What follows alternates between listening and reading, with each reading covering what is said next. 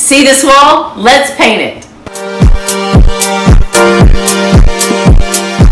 Here are my favorite tips for cutting in. Tip number one, it's the most important. Pick your brush for cutting in. I always use Purdy's clear cut brush. Why? Because it has an angled edge with stiff filaments. This provides more controlled, crisp, and clean lines. And I use it because it means I don't have to use this. Goodbye, painter's tape. Do you know how much time that saves you? Tip two.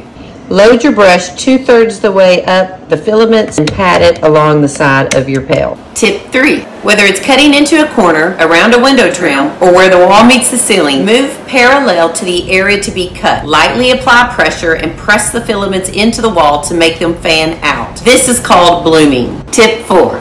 Follow the line in a long smooth stroke until the line of paint begins to break up, and then repeat. Always begin painting over the previous area where you left off.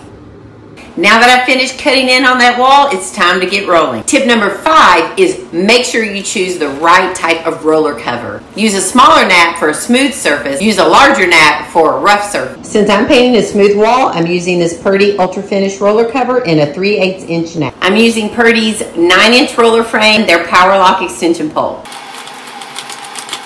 Tip 6. Fill the tray one third full. Load the entire surface of your roller with paint.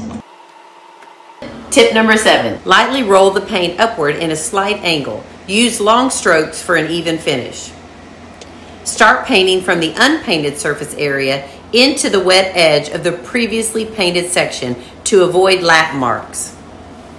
Once the paint is dry, repeat all those steps, let it dry again, then sit back and enjoy your beautifully painted wall.